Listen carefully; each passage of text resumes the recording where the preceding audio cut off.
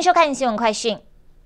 俄罗斯总统普京今天正式签署文件，承认顿涅茨克人民共和国和卢甘斯克人民共和国的合法性，并签署了友好合作互助条约。这两个地区位于乌克兰东部的顿巴斯地区，其中的顿涅茨克地区和卢甘斯克地区由叛乱军的控制。如今，普京承认了这两个地区的合法性，就代表着俄罗斯军队可以正式部署到乌克兰境内。普京表示，顿巴斯地区的民众正在饱受折磨，而这两个地区的民众是合法的抵抗来自乌克兰的入侵。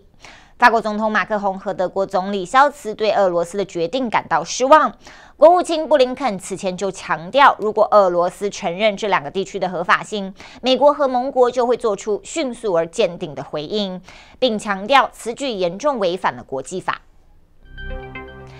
就在英国女王伊丽莎白二世确诊新冠后的第二天，首相强生发表讲话，讲述了英格兰与病毒共存的路线图，以及向民众免费提供检测试剂的新计划。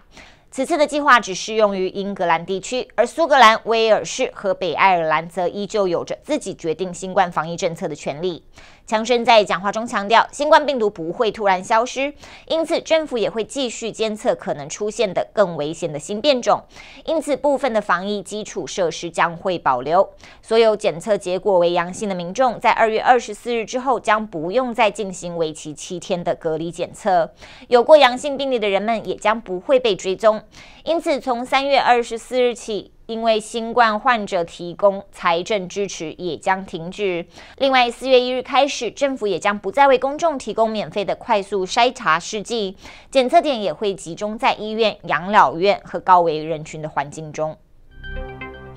纽约警察局表示，就在纽约州长霍楚和市长亚当斯在本周末公布了一份长达十七页的地铁安全计划之后，仅在二十四小时内就有五个人在纽约的地铁系统内被刺伤。到了昨天晚间，又出现了第六名伤者，所幸目前还没有出现人员死亡。根据这一份新的地铁安全计划，从今天开始，纽约市的地铁站内将专门设立专职团队，为精神病患和无家可归者提供帮助。警方也会在下午两点到晚间十点之间派出额外的警力进行巡逻。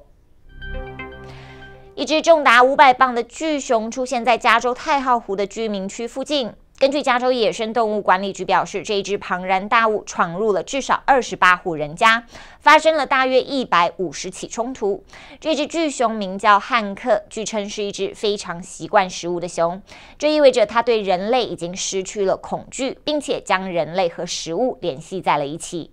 动物管理局已经启动了特殊的诱捕行动，希望可以帮汉克找到一个合适的新家。地方政府也提醒民众要小心平常储存食物和垃圾的方式，否则野生动物就很有可能会登门拜访。